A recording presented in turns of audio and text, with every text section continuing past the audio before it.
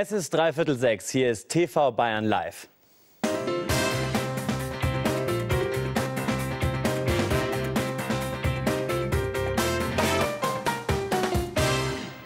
Herzlich willkommen zu TV Bayern Live. Wir beschäftigen uns nun eine Stunde lang mit allen wichtigen Themen, die den Freistaat bewegen. Das Thema Nummer eins dieser Tage ist ganz klar die Flüchtlingsproblematik. Wir werden auch später in der Sendung noch ausführlich darüber berichten. Auch für viele Promis, wie beispielsweise für Till Schweiger, ist das Thema zur Herzensangelegenheit geworden.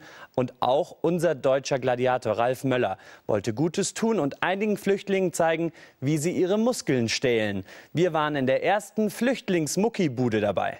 Wo er auftaucht, da ist der Medienrummel nicht weit weg.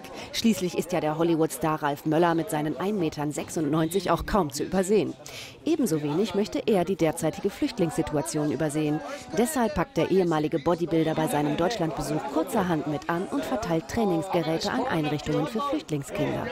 Naja, ich habe äh, die Chefredakteurin Patricia Riekel von der Bunten. Wir hatten vor ungefähr fünf Wochen darüber gesprochen.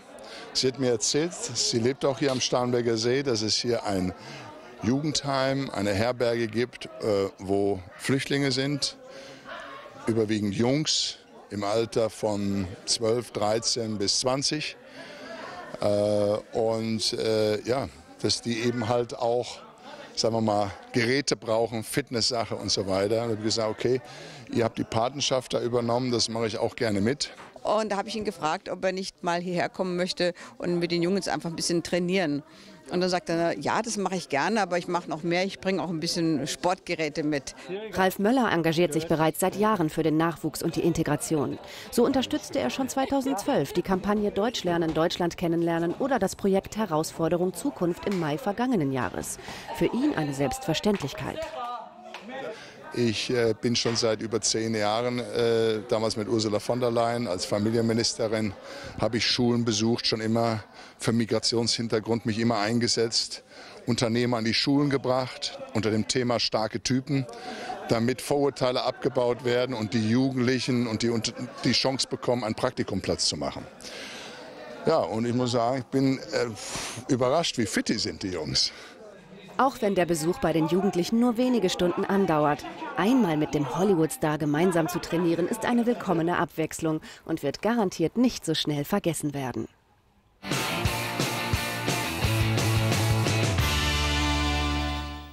Auch in den Münchner Kammerspielen tut sich was in Sachen Flüchtlingsthematik.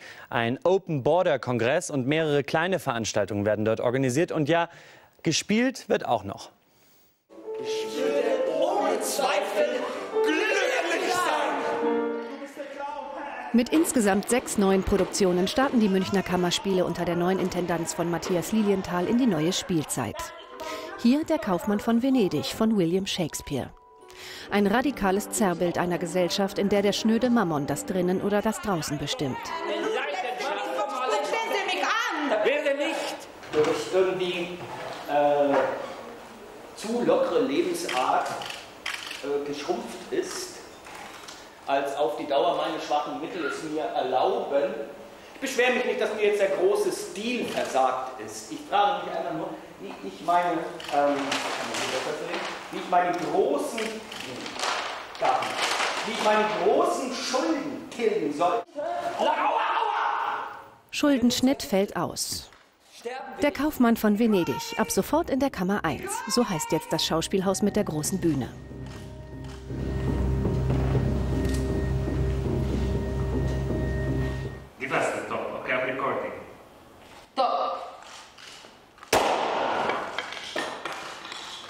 Ein Terrorist legt sich ins Bett und wird in die Luft gesprengt. Dabei untersucht diese Performance in erster Linie die Verwendung von Bildern in Kriegen.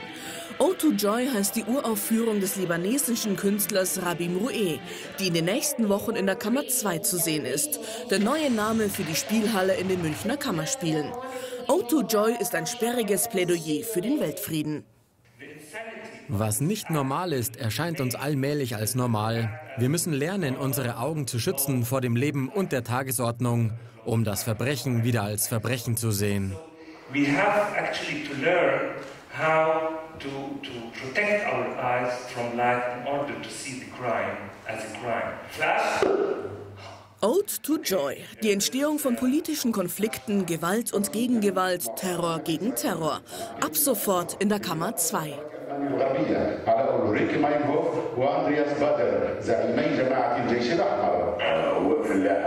قصة متخيلة من أجل الحصول على فيزا على فيزا ألمانية Außerdem findet in den Münchner Kammerspielen der sogenannte Open Border Kongress statt. Von Freitag bis Sonntag gibt es an zwölf Spielorten Vorträge und Diskussionen, Theater, Performance, Filme, Workshops und vieles mehr.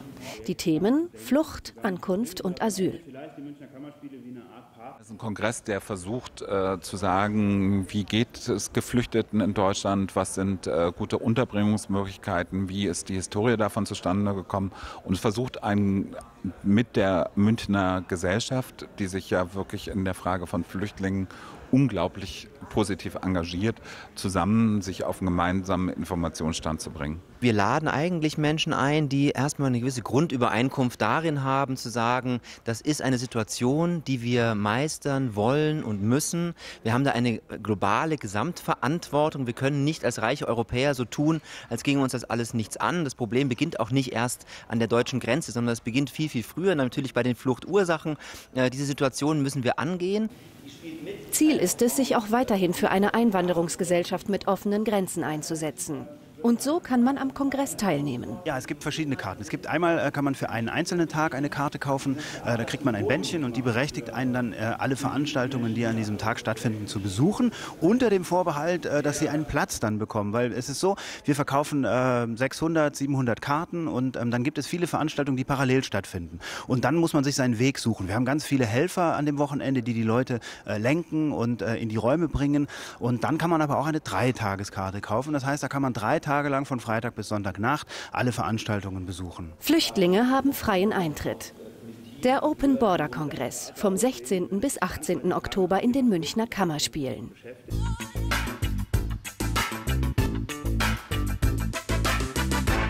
Knapp zwei Wochen ist die Wiesen jetzt schon vorbei, aber wir erinnern uns jetzt noch mal an, die, an das größte Volksfest der Welt, ans Oktoberfest. Wir kommen nämlich zu den Gewinnern unseres CW Wiesen Gewinnspiels. Vielleicht erinnern Sie sich noch? Gewinnen Sie mit TV Bayern Live und mein CW Fotobuch eine Fotoleinwand oder ein Fotobuch für Ihre schönsten Familienfotos. Alles, was Sie dazu machen müssen, ist, Ihr schönstes Foto von Ihrem Volksfestbesuch und der Geschichte, die dahinter steckt, per E-Mail an uns zu schicken. Die besten Fotos werden am Ende bei uns in der Sendung präsentiert. Schicken Sie uns Ihre E-Mail an gewinnen.tvbayernlive.de und mit etwas Glück können auch Sie demnächst Ihr schönstes Familienalbum in Ihren Händen halten. Präsentiert von Mein CW-Fotobuch, mein Leben. So, und wir haben die Gewinner ausgelost, gezogen aus den zahlreichen Einsendungen. Und einen Gutschein über 100 Euro bei CW hat gewonnen Dominik Zöllig aus dem fränkischen Weißenburg. Und jeweils ein Fotobuch im XXL-Format gewinnen Melanie Klaassen, Helga Gaser und Christina Behler. Herzlichen Glückwunsch. Liebe Zuschauer, wir machen jetzt eine ganz kurze Pause, sind aber gleich zurück. Bleiben Sie dran.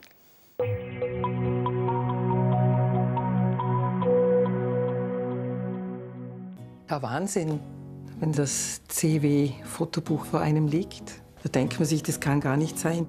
Die Qualität der Bilder ist wirklich hervorragend. Also so, dass ich wirklich sage, genauso war es, wie wir dort waren. Und das ist wirklich wow. Mein CW-Fotobuch, mein Leben. Ich war noch niemals in New York. Zum ersten Mal in Bayern.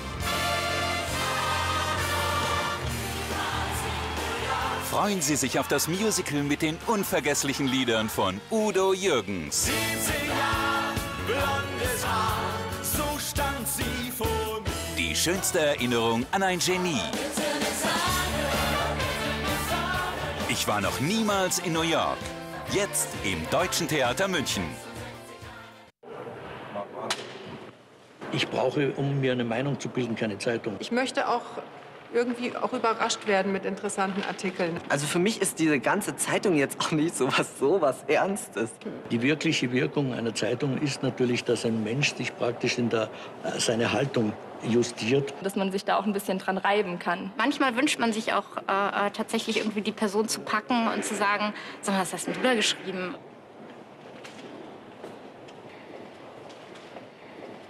Jetzt kaufen. Alpin, das Bergmagazin.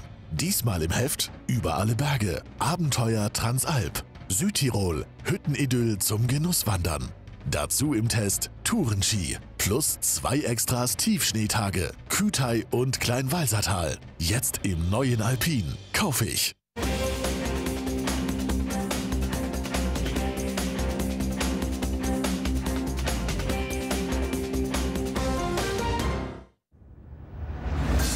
Geld statt Brot. Über 35 Einbrüche in oberfränkischen Bäckereifilialen. Probieren geht über Studieren. Passaus Erstsemester beim Leberkäseempfang. Und Bayern kann es nicht alleine. Seehofer fordert Berliner Solidarität in der Asylpolitik.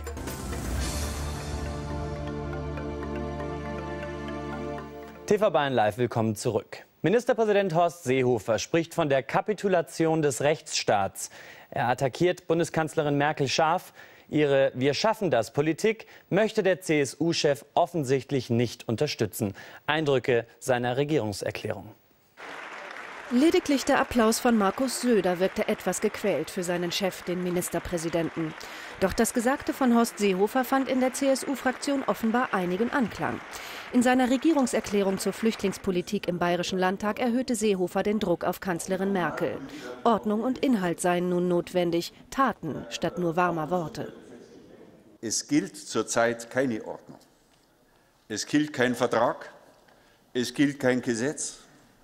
Und meine Damen und Herren, ich hätte mir nie vorstellen können, in meiner gesamten politischen Laufbahn, dass ich mich als Ministerpräsident des Freistaats Bayern dafür rechtfertigen muss, wenn ich dafür werbe, den Rechtsstaat wieder vom Kopf auf die Füße zu stellen, meine Damen und Herren. Anders die Opposition. SPD-Fraktionschef Markus Rinderspacher warf Seehofer Stimmungsmache gegenüber der Bundeskanzlerin vor und sprach von Kraftmeierei. Der Ministerpräsident hat heute Tatkraft simuliert und vorgetäuscht. Er hat Scheinlösungen präsentiert. Er ist bewusst in vielen Bereichen im Wagen geblieben und hat konkrete, handhabbare Lösungsvorschläge nicht vorgelegt. Diese Regierungserklärung war eine Demonstration der Hilf- und Machtlosigkeit. Wenn Sie Ehekrach haben, Herr Seehofer, dann lassen Sie sich scheiden. Aber es ist schwerlich zuzuhören, dass hier Rot und Schwarz hier ihre Berliner Koalitionsstreitigkeiten im Bayerischen Landtag austragen dass sie sich hier gegenseitig Unfähigkeit vorwerfen. Nach Angaben Seehofers kamen seit Anfang September rund 300.000 Flüchtlinge in Bayern an. Die Grenze der Belastbarkeit vieler Kommunen sei erreicht. Doch die Alarmsignale der Landräte und Bürgermeister würden in Berlin nicht gehört, kritisierte Seehofer. Zugleich wiederholte der bayerische Ministerpräsident, Transitzonen einzurichten und die Zahl der Zuwanderer zu begrenzen. Es wird nicht gehen ohne Begrenzung der Zuwanderungszahl in rechtsstaatlich einwandfreier Weise mit einer klaren politischen Konzeption. Aber, meine Damen und Herren, ohne Begrenzung der Zuwanderung werden wir als staatliche Gemeinschaft in Deutschland und Europa grandios scheitern. Die Flüchtlinge werden die Transitzone über die Wiesen und Wälder, Berge und Täler umgehen.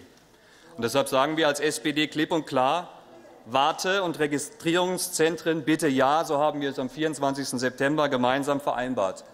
Aber Masseninternierungslager unter Aushöhlung des Individualrechts auf Asyl kann und wird es mit der Sozialdemokratie nicht geben. Seehofer bleibt dabei. Er schiebt die politische Verantwortung dem Bund zu, wo die CSU im Übrigen immer noch mitregiert. Die Flüchtlingskrise in Bayern und ganz Deutschland spitzt sich immer weiter zu. Landräte und Oberbürgermeister der betroffenen Grenzregionen wissen nicht mehr weiter. Die Frage, wohin mit den tausenden Flüchtlingen, kann keiner mehr wirklich beantworten. Jetzt gab es hierzu ein Spitzentreffen in Deggendorf. Das geheime Spitzengespräch zur Flüchtlingskrise in Deggendorf. Große Hoffnungen, doch am Ende kam wenig Neues dabei heraus. Der erwartete Paukenschlag aus der bayerischen Ecke, ein potenzieller Aufnahmestopp, blieb nach wie vor mehr Drohung denn harte Tatsache. Doch das Gespräch zwischen Ministerpräsident Horst Seehofer, seinen zwei Ministern und den Politikern der betroffenen Grenzregionen zeigte einmal mehr, der Ruf danach wird aus den eigenen Reihen immer lauter. Die einzige mittel- und langfristige, auch kurzfristige Problemlösung wäre, den Zuzug nach Deutschland zu begrenzen, was ich bekanntermaßen für politisch unumgänglich halte. Das ist auch zugleich die einzige verantwortbare Lösung. Seehofer lehnt die politische Verantwortung für die Flüchtlingskrise ab. Seiner Ansicht nach sei das die Aufgabe des Bundes. Dieser müsse sämtliche Unterbringungsmöglichkeiten wie beispielsweise auch belegte Kasernengelände für Flüchtlinge in Erwägung ziehen. Denn fest steht schon jetzt, sollte der Zustrom in dieser Form anhalten, müssen die Kommunen bis Weihnachten die Unterbringungsmöglichkeiten verdoppeln. Ich habe die vertreten kann, es werden drei größere Hallen. Äh, alle anderen werden, würden wir alle politischen Versprechungen, alle Hilfeleistungen der dortigen Gemeinden über den Haufen werden. Das wird mit mir nicht passieren. Dann ist es nicht mehr mein Land und nicht mehr mein Landkreis. Das werde ich nicht durchsetzen. Seehofer versicherte, auch in Zukunft keine privaten Gebäude für die Flüchtlinge zu beschlagnahmen. Rund 2,5 Millionen Euro täglich. So viel kosten den Spediteuren die Kontrollen an Bayerns Grenzen. Auf den Autobahnen stehen Lkw in kilometerlangen Staus. Kunden können nur verspätet oder gar nicht beliefert werden. Damit gehen auch viele Aufträge verloren. Und noch ein Problem. Die Brummifahrer können durch den Stau ihre Fahrzeiten und vor allem die gesetzlichen Pausen kaum noch einhalten. Wer nach Bayern will, steht erstmal im Stau. So ergeht es derzeit tagtäglich Lastwagenfahrern, die kaum noch ihre Kunden beliefern können. Ein Millionenschaden für Transportunternehmen. Besonders betroffen ist der regionale Grenzverkehr. Das heißt, sie fahren mehrmals am Tag über die Grenze und stehen damit auch mehrmals am Tag im Stau. Zum Beispiel, wir liefern sehr viel Treibstoff nach äh, Tirol, auch äh, äh, Schüttgut, wo wir sehr viel nach Tirol fahren für die Holzwerkstoffindustrie. Und für diese Fahrzeuge ist natürlich, verlieren wir sicherlich am Tag eine bis zwei Fahrten, die wir nicht mehr erledigen können. Es entstehen höhere Personal- und Spritkosten. Für verspätete Lieferungen zahlen die Transporteure meist hohe Strafen. Durch den Stau auf den Autobahnen können viele Fahrer weder ihre Lenkzeiten noch ihre Ruhepausen einhalten. Hinzu kommt, dass sich bereits viele Lastwagenfahrer weigern, nach Großbritannien zu fahren. Sie fürchten, dass Flüchtlinge unbemerkt auf die LKWs aufspringen. Wenn wir jetzt jemanden auf dem Fahrzeug hätten, der sich nach England schmuggeln möchte und wir werden erwischt, dann sind wir als, als Firma automatisch äh, in, im Straftatbestand Schlepper oder Schleuser und kriegen dementsprechend hier äh, Strafen aufgebrummt. Mehr Lastwagenfahrer können die Transporteure nicht einsetzen. Es gibt einfach keine. Solange der Flüchtlingsstrom nicht abreißt, ist auch der freie Personen- und Warenverkehr eingeschränkt. Und was sonst noch los war im Freistaat, das haben wir jetzt mal ganz kurz und kompakt für Sie zusammengefasst. Hier kommt unser Nachrichtenüberblick. Bayern reagiert auf die immensen Flüchtlingszahlen. Insgesamt sollen 2000 zusätzliche Stellen in den Bereichen Verwaltung, Polizei und Justiz geschaffen werden. Außerdem stockt die Regierung vor allem im Bildungssektor auf. So sollen 1700 weitere Arbeitsplätze an Schulen entstehen, wie Horst Seehofer ankündigte. Immer mehr Flüchtlinge werden an den Schulen in sogenannten Integrationsklassen betreut. Dies sei nur mit mehr Personal zu stemmen. Insgesamt veranschlagte die Regierung für das Sonderprogramm im kommenden Ausgaben in Höhe von 489 Millionen Euro. Euro.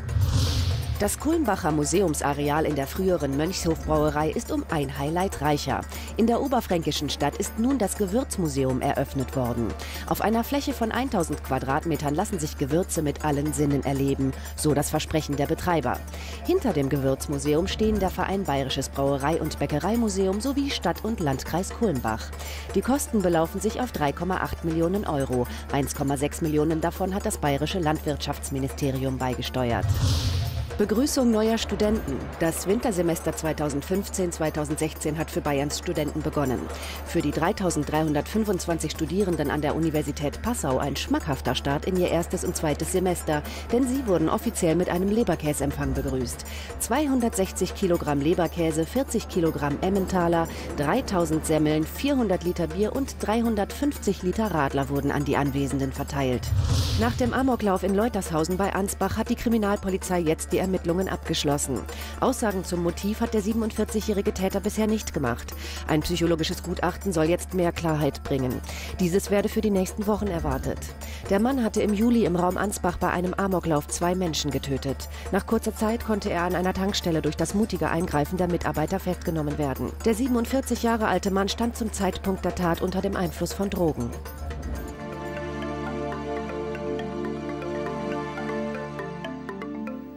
Wer im oberfränkischen Landkreis Coburg seine Brötchen als Bäcker verdient, der hat es derzeit nicht leicht.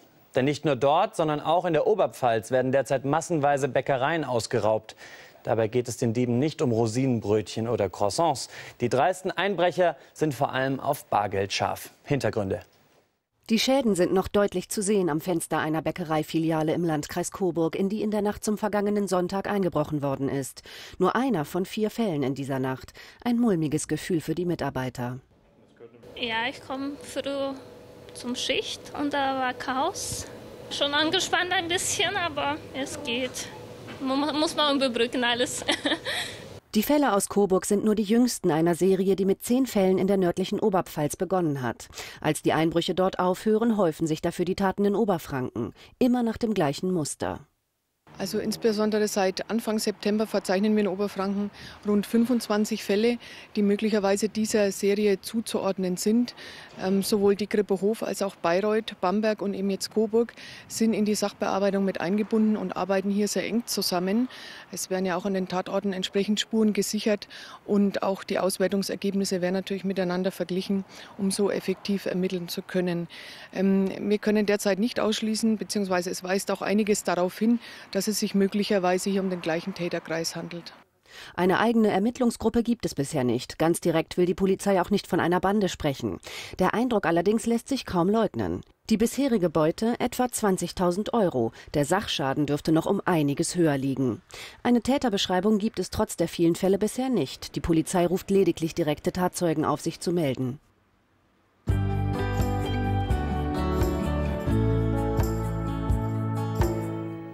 Die Berge des Voralpenlandes sind wieder mit Schnee bedeckt. Viele Meteorologen sprechen von den Vorboten eines Jahrhundertwinters. Aber schauen wir erst mal, wo die Reise in den nächsten Tagen hingeht. Hier die Aussichten. Schönen guten Abend, ich grüße Sie zu Ihrem Bayernwetter. Das war ja heute mal eine gelungene Überraschung in einigen Teilen Südbayerns, dass sich die Sonne endlich mal wieder zeigte. Man hatte sie ja schon fast vergessen.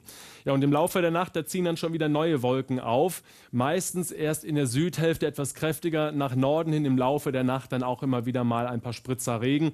Das Ganze bei Werten zwischen 2 bis 3 Grad in den Hochlagen Richtung äh, Donau und Richtung München, so um die 5, in Niederbayern auch mal 6 Grad, aber weltberühmt Abend ist das natürlich nicht. Eine sehr frische Nacht wird es. Gucken wir dann auf den Sonntag in Franken. Da sehen wir es, es kann hin und wieder mal aufbrechen, beziehungsweise die Wolkendecke kann aufreißen. Das Ganze bei höchstens 8 bis 9 Grad. Aber eine gute Sache ist an dem Wind. Der ist nämlich nur sehr, sehr leicht unterwegs aus Nordost bis Nord. Und da kühlen die Temperaturen auf der Haut nicht noch mehr ab. Das heißt also 8, 9 Grad ist dann wirklich gefühlt auch das unterste Niveau. In Richtung Oberpfälzerwald, da stauen sich die Wolken noch ein bisschen mehr. Da ist es wirklich so eine richtig dichte Wolkendecke. Hin und wieder tröpfelt es daraus Richtung Süden, Passau, Landshut. Kann es auch noch ein bisschen kräftiger regnen. Das Ganze bei meistens 7 bis 9 Grad. Und der Wind, naja, recht äh, einfältig mit Windstärke 1 aus nördlichen Richtungen. Ganz im Süden Bayerns, da sieht es leider auch nicht besser aus. Die sonnigen Momente sind dort vorbei vom Samstag. Dann wird es besonders am Alpenrand regnen bei 6 bis höchstens 9 Grad. Und der Wind auch dort zu vernachlässigen, meistens aus nord- äh, bis nordöstlichen Richtungen zum Alpenrand auf Nordwest drehend. Aber jetzt kommt das Gute zum Schluss, zumindest in den Aussichten. Das zeigt sich dann am Montag noch nicht. Dann halt eben noch viele Wolken und Regen. Ein sehr, sehr zarter Windhauch bei Windstärke 1. Anders kann man es nicht beschreiben. Am Dienstag nochmal ziemlich bewölkt das Ganze, aber ab Mittwoch, und das verspreche ich Ihnen jetzt, sieht es danach aus, dass das Wetter endlich ein bisschen harmonischer wird, dass die Sonne ein bisschen häufiger rauskommt und dann steigen die Temperaturen langsam etwas an.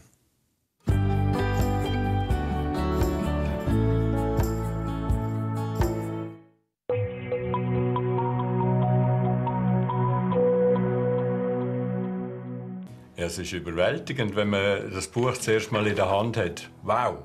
Man kann die ganze Reise noch mal nachvollziehen, Seite für Seite. Zu jedem Bild kommt uns wieder etwas in den Sinn, was wir damals erlebt haben. Großartig. Mein CW-Fotobuch, mein Leben. Ich war noch niemals in New York. Zum ersten Mal in Bayern. Freuen Sie sich auf das Musical mit den unvergesslichen Liedern von Udo Jürgens. blondes Haar, so stand sie vor mir. Die schönste Erinnerung an ein Genie. Ich war noch niemals in New York. Jetzt im Deutschen Theater München. Ich brauche, um mir eine Meinung zu bilden, keine Zeitung. Ich möchte auch irgendwie auch überrascht werden mit interessanten Artikeln. Also für mich ist diese ganze Zeitung jetzt auch nicht so was, so was Ernstes. Die wirkliche Wirkung einer Zeitung ist natürlich, dass ein Mensch sich praktisch in der, äh, seine Haltung justiert. Dass man sich da auch ein bisschen dran reiben kann. Manchmal wünscht man sich auch äh, äh tatsächlich irgendwie die Person zu packen und zu sagen, sag mal, was hast denn du da geschrieben?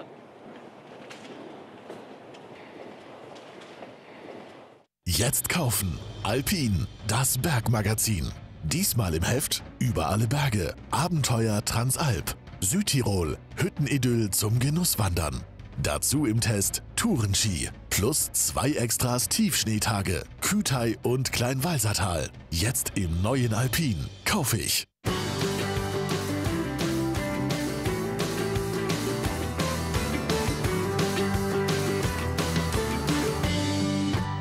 Willkommen zurück bei TV Bayern Live. Fluch oder Segen, wenn es um die Kreuzfahrtschiffe in Regensburg geht, sind die Meinungen sehr gespalten. Wir haben uns umgehört an der Donaulände und in der Altstadt, bei Passanten und beim Handel. Ein Stimmungsbild. 1300 Kreuzfahrtschiffe legen dieses Jahr in Regensburg an. Sechs riesige Luxusdampfer liegen an manchen Tagen an der Donaulände.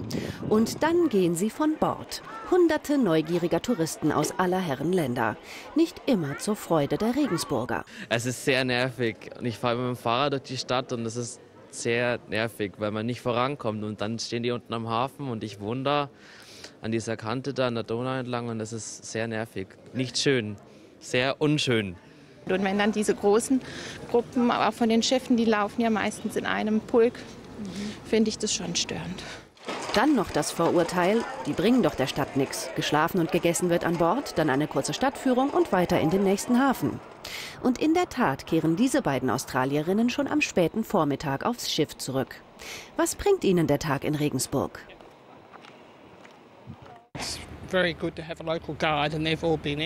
Es ist gut, einen Fremdenführer vor Ort zu haben. Die waren hervorragend.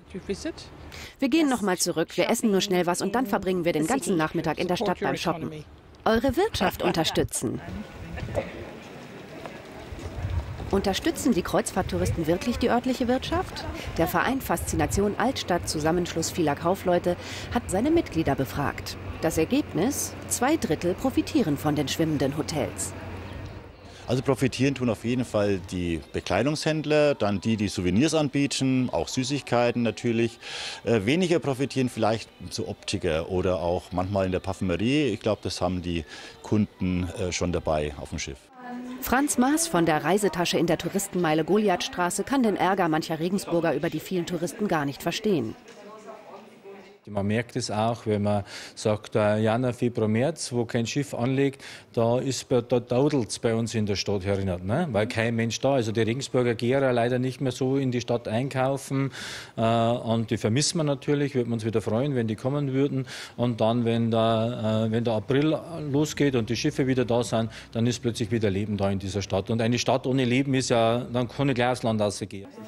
Durch die Kreuzfahrer werden ganze Geschäfte vom Aussterben gerettet und sogar neue Arbeitsplätze geschaffen, bestätigt Robert Nusslan vom Hutkönig am Domplatz. Und wir haben seitdem die Kreuzfahrtschiffe hier in Regensburg anlegen, viele Touristen, die äh, dafür gesorgt haben, dass wir sechs neue Arbeitsplätze, Vollzeitarbeitsplätze schaffen konnten, die aufgrund des Schiffstourismus hier bei uns arbeiten können.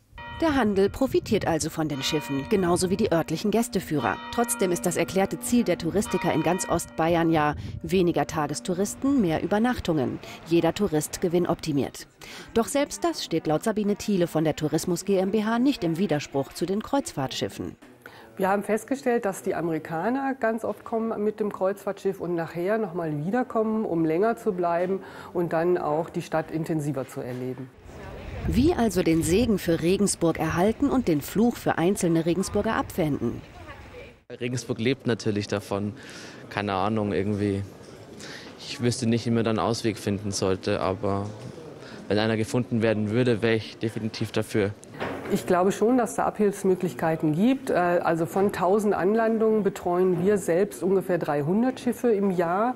Äh, wir haben die Regel nur 25 äh, Gäste pro Guide. Also das ist eine selbst auferlegte Regel, die wir uns von Anfang an gegeben haben, wenn unsere Schiffe unterwegs sind oder unsere Kunden mit 25.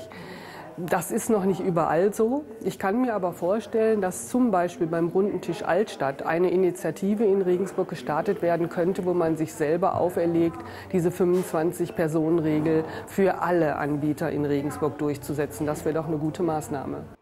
Mit kleineren Gruppen könnten alle gut leben. Kreuzfahrer, Gästeführer, Handel und die Regensburger.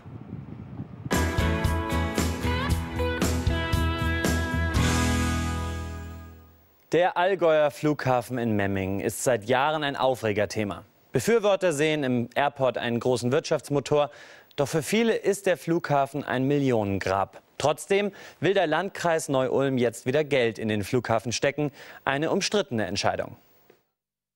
Der Allgäu Airport schreibt regelmäßig rote Zahlen. Trotzdem will der Landkreis Neu-Ulm rund 290.000 Euro in den Flughafen investieren. Da drängt sich die Frage auf, wieso? Wir fragen nach beim Neu-Ulmer Landrat Thorsten Freudenberger. Die Mehrheit war der Meinung, dass es äh, vielleicht nicht die Wirtschaft ist, die diesen Flughafen braucht. So allgemein lässt sich das nicht sagen, aber es sind doch einige bedeutsame Unternehmen auch im Landkreis Neu-Ulm, die diesen Flughafen benötigen. Und dann glauben wir, dass viele Menschen, also in vielen Gesprächen wurde mir das auch in letzter Zeit mitgeteilt, viele Menschen diesen Flughafen nutzen. Insofern ist er auch ein sogenannter weicher Standortfaktor für uns, ein Nice to Have. Der Flughafen sucht händeringend nach Investoren, denn nur mit frischem Geld können Start- und Landebahn ausgebaut werden. Der grünen Kreisrat Franz Schmidt hält wenig von solchen Plänen. Also wenn nicht ein Riesenanteil an öffentlichen Geldern drin da stecken würde, dann würde, der, äh, würde in Memmingen längst nicht mehr geflogen. Und jetzt wird praktisch die Flucht nach vorne angetreten. Die Schulden sollen irgendwie wegkommen mit neuen Geldern. Die Neu-Ulmer Investitionen fließen nicht direkt in den Flughafen. Ziel sind die umliegenden Gewerbegebiete. Wir bekommen also einen Anteil an Grundstücken und auch an Gebäuden und haben dafür auch eine gewisse, nicht hundertprozentige, aber eine gewisse Sicherheit. Das sehen die Kritiker anders. Sie warnen davor, dass durch die Gewerbegebiete zusätzliche Kosten entstehen könnten, zum Beispiel durch den Abbau von Altlasten. Also ich will mal nicht von Ökologie sprechen oder vom Lärmschutz. Das ist bekannt und Sie wissen, jetzt sollen auch die Flüge in die Nacht ausgedehnt werden. Und ich denke, der Landkreis Neu-Ulm hat andere Aufgaben, als sich an einer Grundstücksgesellschaft außerhalb des Landkreises zu beteiligen. Sicher ist aber noch nichts. Am 22. November stehen in Memmingen und im Unterallgäu Bürgerentscheide an. Dort will man auch investieren. Stimmen die Menschen gegen die Pläne, will auch der Landkreis Neu-Ulm einen Rückzieher machen.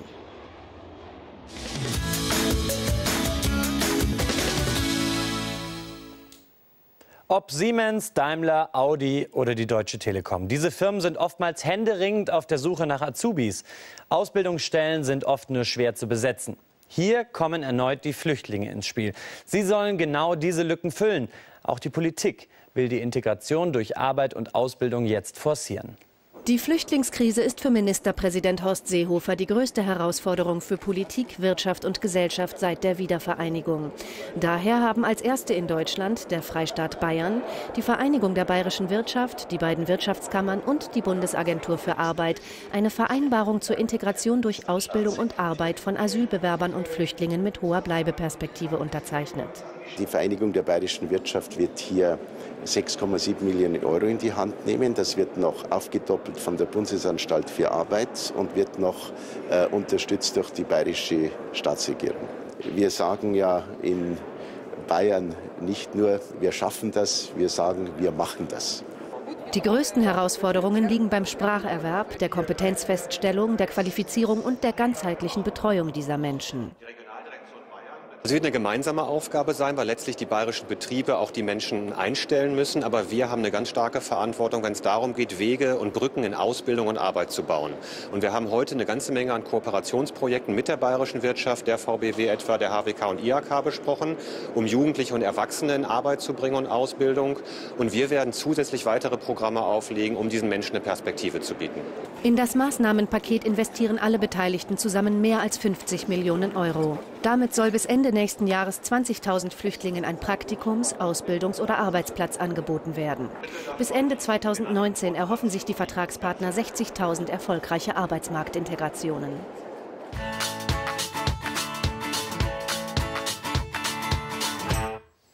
Fremde Gesichter machen manchen Menschen Angst. Bei Schafen ist das übrigens genauso. Doch erfahrene Züchter wissen, wie diese Angst überwindet werden kann. Genau, wir bleiben beim Thema mit Integration. Makai heißt dieser Hütehund. Sein Züchter ist ein Bayern-Fan. Wie der Fußballer ist auch der Schäferhund auf grünem Rasen kaum zu bremsen. Seine vierbeinige Mannschaft hat ihn als Spielführer längst akzeptiert, auch wenn er ein ganz anderes Gesicht hat als die meisten Schafe hier. Doch stopp, Zwei dieser Schafe sehen dem Schäferhund ziemlich ähnlich, zumindest was die Gesichtsfarbe betrifft. Genau deshalb hat sie der Schäfer auch in seine Herde gesteckt. Der Hintergrund ist der, dass die Schafe nicht vor einem schwarzen Tier Angst haben, egal was das ist, ob das ein schwarzer Schaf ist, ein schwarzer Hund oder ein schwarzer Mensch. Weil, wenn wir was schwarz sehen, dann ist um das ja, da sind die was Schwarzes gewohnt. Das ist ganz schlimm eigentlich, weil ich das schon mal gehabt, dass ohne schwarze Schafe, dann laufe ich einen halben Tag ohne ganz wild umher. Wild und unruhig vor lauter Angst sind die Tiere nicht mehr, seit Franz Lachner die beiden schwarzen Schafe in seiner Herde hat. Die besteht momentan aus 110 Mutterschafen und 70 Lämmern. Die bleiben auch draußen, wenn es ungemütlich wird. Zum Beispiel im nasskalten Herbst. Die bleiben so lange draußen, bis Futter finden. Und das Schaf, die dann auch den Schnee auf Seitenschirm oder wegkratzen mit den Hufe. Und dann, wenn unten ein Futter drin ist, finden sie immer was. Und dann bleibt man so lange draußen, bis Futter eigentlich zu Ende ist. Bei mir ist das meistens also Mitte Dezember. Und dann werden sie im Stall weitergeführt. Der extrem trockene Sommer ist auch für Schäfer Lachner nicht ganz einfach. Es wächst zu wenig Futter für seine Schafe. Die sind auch empfindlich. Zum Beispiel vertragen sie Klee nicht so ohne weiteres. Doch der Schäfer weiß, wann auch dieses Grünzeug bekömmlich ist. Ja, man muss da aufpassen, dass die Schafe nicht nüchtern sind, dass nicht zu viel fressen auf, auf den ersten Mal, dass, nicht, dass es nicht bläht. Es ist besser, wenn es vorher schon einigermaßen voll sind, wenn man anfängt und dann bei der Koppel ist dann sowieso dass man den nicht nüchtern werden lässt, dass man immer wieder Portionen dazu gibt. Und das funktioniert so. Der Weidezaun wird einfach versetzt. Die leichten Netze sind dafür ideal. Damit kann der Schäfer seine Tiere dorthin bringen, wo das richtige Futter in der richtigen Menge wächst. Durch die Landschaft zieht er nur selten. Nein, das mache ich nicht. Ich ziehe nur, im Sommer bin ich auf meine eigenen Wiesen mit, auf der Koppel und dann im Herbst gehe ich zu den Bauern auf die Koppel die wollen mir anbieten, soll das weit beweiden und vielleicht einmal zwei, drei Kilometer im Umkreis von meiner Ortschaft. Diese Lämmer haben sich verlaufen. Sie stehen auf der falschen Seite des Zauns. Auch ihre Mutter ist da ratlos. Das Problem löst Schäfer Lachner, indem er einfach den Zaun abbaut. Damit zusammenkommt, was zusammengehört.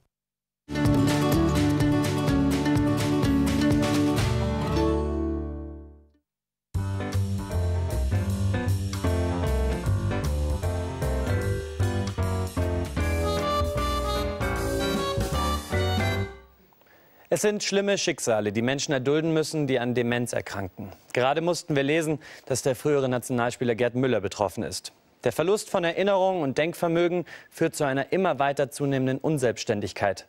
Schlimm ist es auch für deren Angehörige, die den förmlichen Zerfall des Geistes eines geliebten Menschen mit ansehen müssen.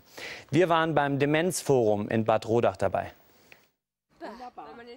Oft wohnen Menschen, die an Demenz erkrankt sind, in Pflegeheimen. In anderen Fällen wiederum wohnen sie zu Hause oder bei ihren Kindern und werden von Angehörigen gepflegt.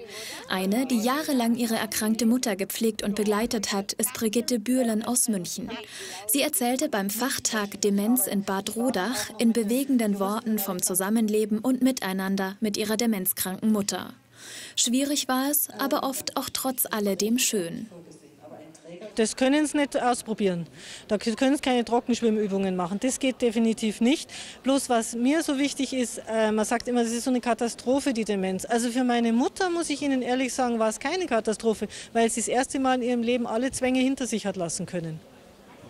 Also alles das, was uns immer so einschränkt und immer diese ganzen Konventionen und was wir machen und nicht machen und wo man das ist ja alles abgefallen. Also sie konnte in einer unglaublichen Freiheit leben.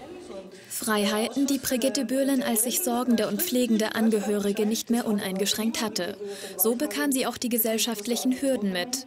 Ein Grund für sie, die Stiftung pflegender Angehöriger sowie einen Verein mit demselben Namen zu gründen.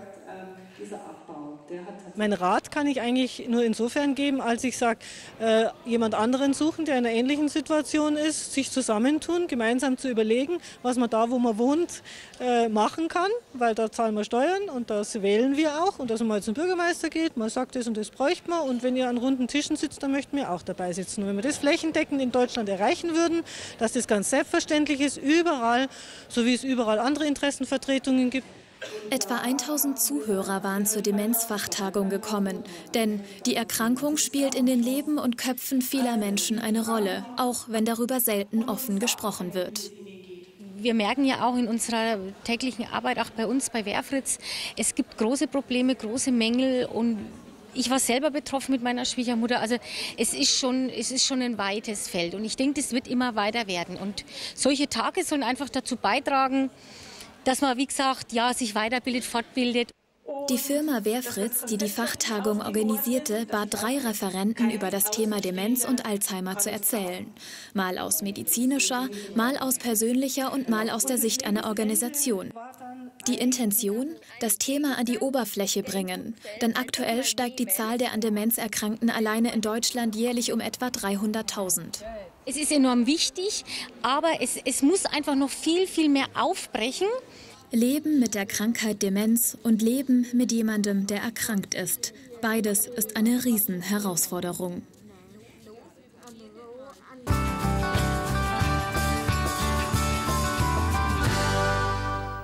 Und wir bleiben noch beim Thema. Auch Annemarie Biermann hat Demenz. Die 89-Jährige liegt aus gesundheitlichen Gründen viel im Bett. Und was bei Blinden gut funktioniert, das soll auch bei Demenzkranken helfen. Hunde. Hündin Filia mit ihrer Besitzerin Siglinde Wenger im Schlepptau. Das 3700 Gramm schwere Leichtgewicht ist ein Therapiehund. Einmal in der Woche besucht die Kleine das Kompetenzzentrum für Demenz in Nürnberg.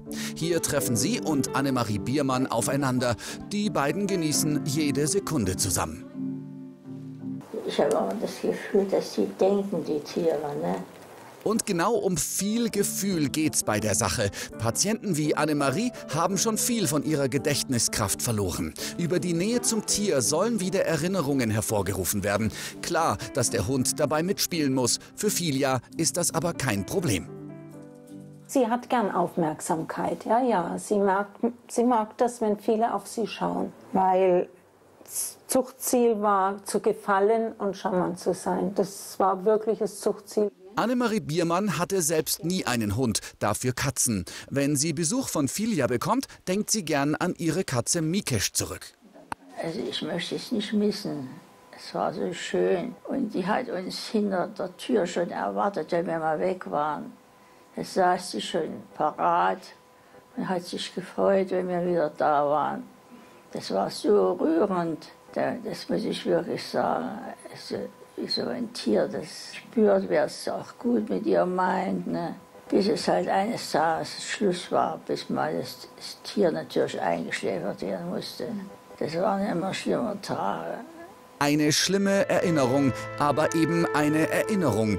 Filia weckt in der 89-Jährigen bereits vergessen geglaubte Gefühle. Und durch das Füttern von Leckerbissen kann die alte Dame dem kleinen Wildfang etwas zurückgeben, etwas Gutes tun. Auch das ist in einem gewissen Alter nicht mehr selbstverständlich, macht aber glücklich. Diese positive Wirkung entgeht auch ihrem Pflegepersonal nicht. Wenn jemand einen Hund hatte oder Tiere hatte, dann sind die auch sehr tierlieb.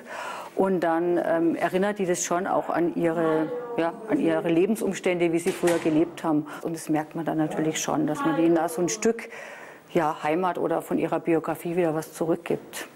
Das ist zumindest für den Moment hilfreich und hebt die Stimmung der Demenzpatienten. Annemarie ist gedanklich wieder bei ihrer Katze. Eine schöne Zeit war das. Dabei wollte sie eigentlich gar kein Tier. Ich wollte früher keine. Gottes Willen, bloß kein Tier, ne, so ungefähr. Bis wir es dann eben praktiziert haben, und da war das so schön. Genauso wie jetzt mit Filia. Das Windspiel, so der Name der Rasse, ist ein kleiner Windhund. Durch ihre höhere Körpertemperatur von 39 Grad ist es für Annemarie besonders schön, mit ihr zu schmusen. Etwa eine halbe Stunde bleibt Filia bei der Seniorin, dann heißt es wieder Abschied nehmen. Bis zur nächsten Woche. Dass die Pflegebranche Probleme hat, ist nichts Neues. Doch jetzt hat sie im wahrsten Sinne des Wortes auch gesundheitliche. Mitarbeiter in den bayerischen Pflegeheimen sind öfter krank als alle anderen. Aber was genau macht die Mitarbeiter krank? Und noch viel wichtiger, wo liegen die Lösungsansätze? Ein Bericht aus Würzburg. Seit mittlerweile 17 Jahren ist Thorsten Beck schon Altenpfleger. Seit 13 Jahren versorgt er hier im Würzburger Bürgerspital Senioren, wie Hertha Ranninger. Ich muss sagen, mir macht mein Beruf immer noch Spaß, auch nach dieser langen Zeit. Ich hoffe, es ist auch noch weiterhin so. Ähm, was sich verändert hat, ich würde nicht sagen verschlechtert hat, sondern eher verändert hat, dass man immer mehr administrative Tätigkeiten zu erledigen hat, die auch wichtig sind. Aber diese Zeit fehlt mir bei der Versorgung des Bewohners. Seine Mittagspause verbringt Thorsten Beck im Pausenraum der Station. Doch dann braucht einer der Patienten Hilfe und Thorsten ist sofort wieder im Dienst. Die Dauerbelastung ist aber nur eines von vielen Problemen des Pflegeberufs. In öffentlichen Flashmobs kritisiert beispielsweise die Organisation Pflege am Boden den Personalmangel in den Betrieben. Das Personal ist überlastet und das hat Folgen. Der Report Pflege 2014 der AOK Bayern zeigt, in Bayern sind Arbeitnehmer im Schnitt zwölf Tage pro Jahr krank. Bei Mitarbeitern in Pflegeberufen sind es fast 16. Braucht es also einfach mehr Mitarbeiter? Mehr Leute kann man grundsätzlich immer gebrauchen. Es ist natürlich die Frage, wo kriegt man auch die Gelder dafür her? Wir könnten die Leute auch sicherlich zu 20 in den Frühdienst stecken, anstatt zu fünft etwa. Aber dementsprechend würde das deswegen nicht unbedingt besser laufen. Man muss wirtschaftlich vorgehen, sei es mit dem Geld und natürlich auch mit der Arbeitszeit. Seit mehreren Jahren betreibt das Bürgerspital aufgrund des Gesundheitsreports ein sogenanntes betriebliches Gesundheitsmanagement. Auch der massive Dokumentationsdruck soll zumindest etwas eingebremst werden. Vor allem aber sollen die Mitarbeiter aktiv mitverändern. Wo kann ich etwas besser machen? Wo kann ich den Urlaubsplan besser machen? Wo kann ich die Dienstplangestaltung geschickter arrangieren? Wo kann ich in meinem technischen Umfeld vielleicht auch bestimmte Punkte verbessern, die sich dann auf meinen Arbeitsalltag positiv auswirken? Als Betrieb profitiere ich davon, wenn meine Mitarbeiter gesünder sind wenn meine Mitarbeiter mit den Belastungen am Arbeitsplatz besser zurechtkommen, wird das Betriebsklima besser, der Krankenstand sinkt und das rechnet sich auch für ein Unternehmen und rechnet sich vor allem für die Menschen, die hier gepflegt werden.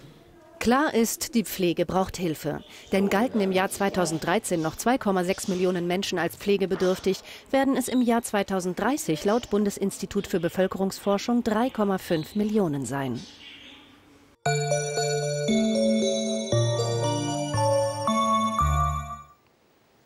Schon im Sportbeitrag in der letzten Woche hatten wir mit Tobias Mürter und Michael Wohlgemuth zwei Extremsportler im Porträt. Die beiden Marathon-Debütanten werden aber von unserem diesmaligen Sportler noch getoppt, was Strecke und Dauer betrifft. Mein Name ist Bernhard Steinbecher.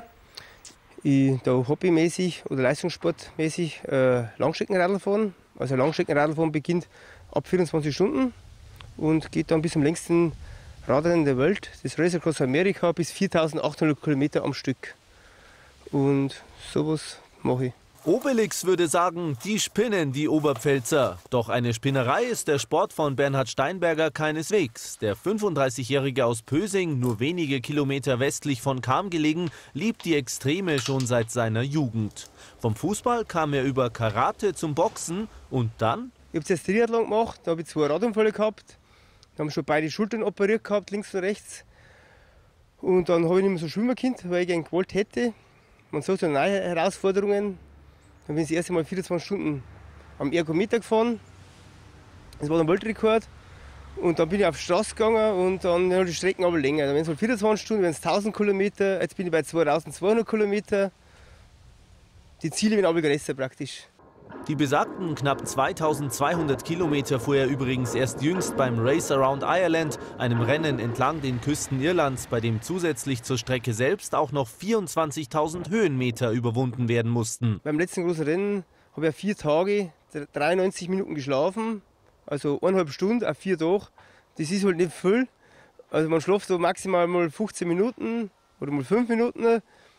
Und äh, das Rennen ist einfach was zwischen Start und Ziel passiert, ist egal. Also ob jetzt massieren lassen, was essen da, trinken da, menschliche Bedürfnisse mit Duschen da, also wird jetzt im so gewonnen. Und deswegen machen wir die Schlafpausen so kurz, weil wenn jetzt eine Stunde schlafen da, eine Stunde wieder reinfahren, mit dem Radl da mal lang fahren, dass man die das wieder aufholt praktisch. Doch was tun, wenn mal die Blase drückt oder man glaubt, dass man einfach nicht mehr kann? Die menschlichen Bedürfnisse sollte man dann unterm Fahren erledigen können, wenn es ähm, so weit geht. Äh, Essen, Trinken im Sattel, also bei 24 Stunden wird eigentlich gar nicht angehalten. Wenn dann die Distanzen länger werden, dann muss man auch anhalten. Es geht ja nicht anders, man ist ja auch bloß ein Mensch. Man wird dann natürlich müde, dann kommt zwar Koffein mehr, das hilft dann auch irgendwann nicht mehr. Also es ist allgemein viel Kopfsache, das Radlfahren. Also ähm, so eine mentale Stärke. Also. Die Fahrer stehen während des gesamten Rennens immer mit einem Team im Funkkontakt, von dem sie immer wieder mit Nahrung, Koffein und vor allem auch vielen Geschichten zum Wachbleiben versorgt werden. Und trotzdem ist es für die meisten nur äußerst schwer vorstellbar, wie man vier Tage lang fast ohne Pause durchradeln kann. Also irgendwann bist du dann wirklich fast nur mit Unterbewusstsein. Wenn du einmal einen bestimmten Kilometer überschritten hast und bist müde, äh, beim letzten Rennen waren neue Betreuer dabei, Kumpels, die mitgefahren sind, weil die machen das alle ehrenamtlich also bekommen dafür kein Geld. Und einer war so fasziniert, dass das geht gar nicht. So, ja, ich sag dir, dass es dann geht im Zoll. Nicht? Da waren so begeistert, dass, eigentlich ist es unvorstellbar, dass dann mehr oder weniger schon unbewusst ein Radl fährst. Äh, wenn du ermeldet wirst, dann beginnt eigentlich das Rennen jetzt wirklich, also die, die schwere Phase im, im Rennen. Dass du mal mit dem Rücken oder Gesäßproblem hast, ist ganz normal. Oder mit den Knien mal, also leicht Schmerzen. Aber wenn du müde wirst, dann ja, beginnt das Rennen wirklich. Eines der Geheimnisse Steinbergers ist, die ersten Tage ohne Tacho und dafür mit Pulsmesser zu fahren, um sich nicht zu übernehmen. Erst kurz vor Ende des Rennens, also 200 bis 300 Kilometer vor dem Ziel, beginnt er mit der Frage nach dem Wie weit noch. Seine Taktik beim Race Around Ireland, wer schläft, verliert. Die ging letztendlich auch auf und somit holte er sich nach 98 Stunden Fahrzeit mit insgesamt 93 Minuten Schlaf den Sieg auf der grünen Insel. Manchmal hatte aber auch er das Gefühl, er hätte keine Kraft mehr. Ja, ganz normal aus Kraft noch. Ich bin auch bloß ein Mensch und, und hast Phasen dabei im Rennen, was gar nicht gut geht. Und du hast halt ein Team dabei, die motivieren die, die da mit Essen, Trinken versorgen. Also eigentlich habe ich es am leichtesten. Ich brauche was Radl von, ne? Also wenn man es genau nimmt. Und äh, Rallye kann ich mal nehmen und, und da mal was weh und dann machst du mal eine kurze Pause. Aber du weißt, die Konkurrenz ist auch da und, und du bist so fokussiert im Rennen, du weißt bloß noch ins Ziel kommen, so schnell wie möglich. Weil dann habe ich eigentlich im Rennen bloß noch zwei Gedanken oder drei Gedanken besser gesagt, wenn ich im Ziel bin. Das ist dann Dusche, Bier und Bett. Und das motiviert dann schon ziemlich. Wenigstens nimmt er es mit Humor, denn etwas demotivierend könnte manchmal auch die Tatsache sein, dass er sich dieses Hobby selbst finanzieren muss, mit Ausnahme einiger weniger Sponsoren. Deshalb kann es unter Umständen auch noch ein paar Jahre dauern, bis er sich seinen größten Wunsch und gleichzeitig sein absolutes Ziel erfüllen kann, das Race Across America. Hier gilt es 4800 Kilometer und 52.000 Höhenmeter von der West- zur Ostküste der USA innerhalb von zwölf Tagen zu fahren. Qualifiziert dafür hätte er sich jedenfalls schon mal.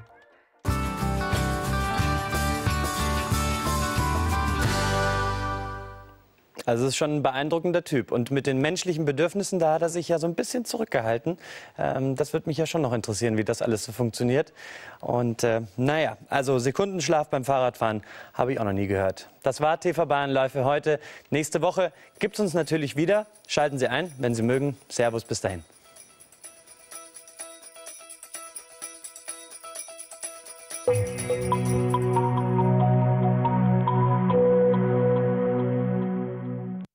Altenbuchinger Industrieimmobilien, Ihr Partner für erstklassige Immobilien. Aktuell bezugsfertig ist unser Büro- und Praxiszentrum in Tittling. Wir als Eigentümer bieten Ihnen hier frei nach Maß planbare Räumlichkeiten. Kommen Sie mit auf einen Rundgang und lassen Sie sich von unserem beliebten Konzept überzeugen. Mitten im Dreiländereck, unser exquisites Praxis- und Bürozentrum. Nur drei Minuten von der B85 entfernt erreichen Sie alle wichtigen Städte im Handumdrehen. 120 Parkplätze warten auf Sie direkt vor dem Haus.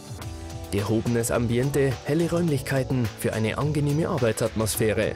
Ausgestattet mit einem elektrischen Sonnenschutz für noch mehr Komfort. Hohe Decken und raumhohe Glastüren, modernste Sanitäranlagen. Unsere Immobilie ist für Büro, Praxis und Gewerbeflächen gleichermaßen geeignet und bietet auf allen drei Stockwerken 2400 Quadratmeter Fläche. Ihrer Kreativität bei der persönlichen Gestaltung der noch nicht ausgebauten Räumlichkeiten sind nahezu keine Grenzen gesetzt. Dabei sind auch technisch aufwendige Installationen wie beispielsweise für medizinische Berufe kein Problem. Komfort und Sicherheit durch fortschrittliche Lüftungs- und Brandmeldeanlagen sowie Rauchabzug. Jeder Gebäudeabschnitt zeichnet sich durch seine vollständige Barrierefreiheit aus. Bereits bezugsfertig das Dachgeschoss. Es besticht durch originell geschnittene Räumlichkeiten und elektrisch bedienbare Fenster. Darüber hinaus besitzt das Gebäude modernste technische Leitungen und einen Vollwärmeschutz. Interessiert?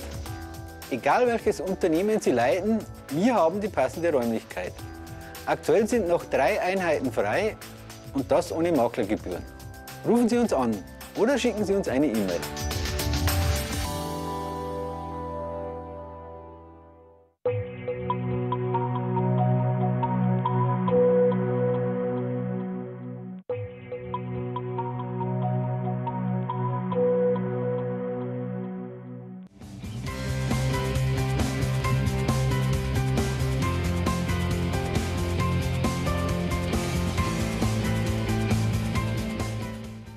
Essen Babys gerne?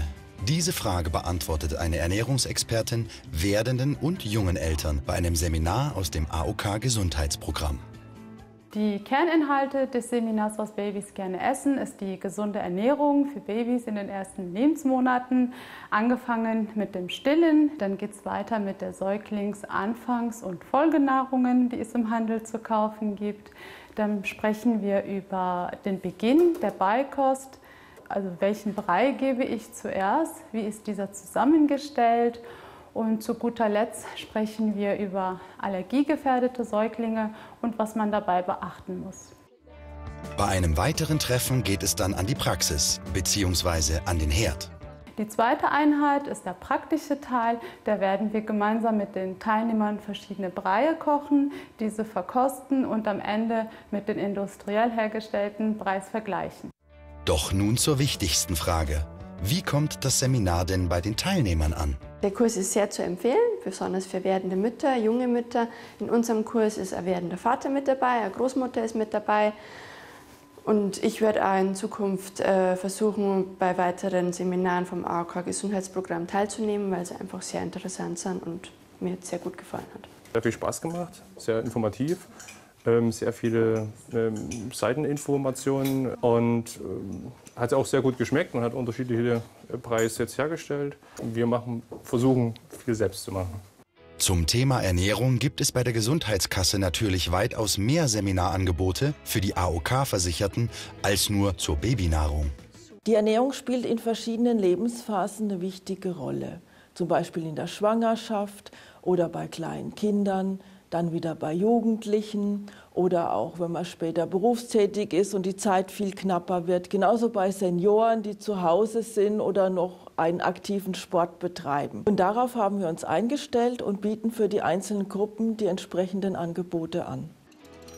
Informieren auch Sie sich über die für AOK-Versicherte kostenfreien Gesundheitsseminare, entweder im Internet oder in Ihrer AOK-Geschäftsstelle.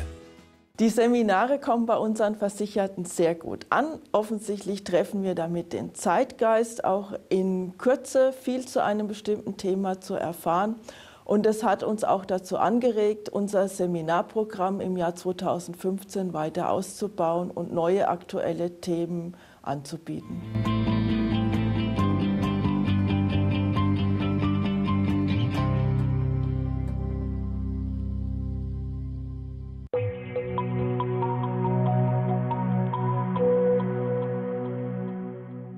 Löwenbiere Sensationen. Wir berichten zwischen Politik und Boulevard. Dazu die Analysen unserer Korrespondenten, die dort zu Hause sind, wo es passiert. Wir berichten über die Themen der bayerischen Wirtschaft. TV Bayern Live. Das heißt auch Sportsgeist und Partystimmung. TV Bayern Live. Ab sofort jeden Samstag um 17.45 Uhr auf RTL.